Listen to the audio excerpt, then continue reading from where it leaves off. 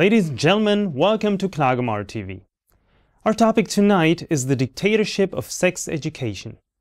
A German girl in fourth grade class who had previously been praised by her teachers because of her remarkable positive behavior happened to get entangled in severe conflicts because she did not want to attend sexual education lessons. While her female class teacher showed some sympathy, she had to suffer insults by her school principal and was then dragged back into the classroom by force with the help of another teacher. Her schoolmates, who witnessed and heard everything, became anxious. As the girl kept on resisting, she was finally dragged into the staff room where she had to sit out the sex educational lessons.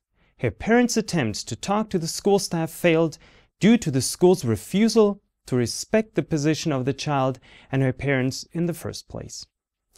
The hour the girl spent in the staff room, together with another similar hour of absence, were counted as dismissed hours by her educational authorities. It then happened that the wheels of official bureaucracy started turning.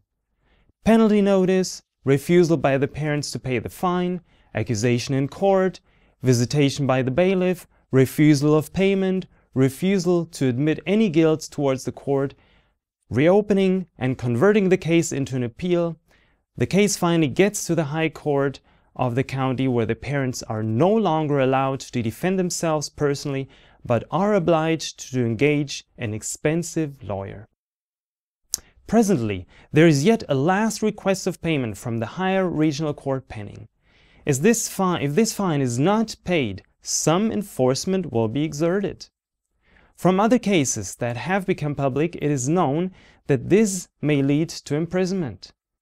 Who will help children and parents in such cases when the courts are biased?